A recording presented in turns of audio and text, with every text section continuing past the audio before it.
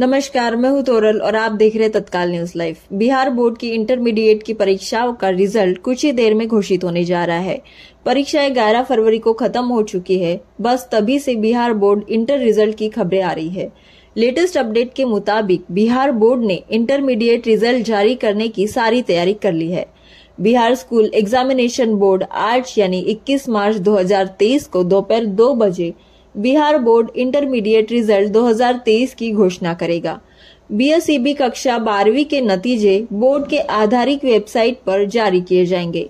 Result check करने के लिए छात्रों को इंटरमीडिएट परीक्षा के रोल नंबर की ज़रूरत होगी।